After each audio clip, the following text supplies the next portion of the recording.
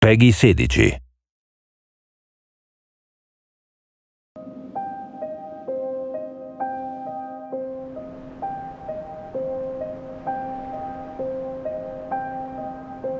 Say it like you mean it.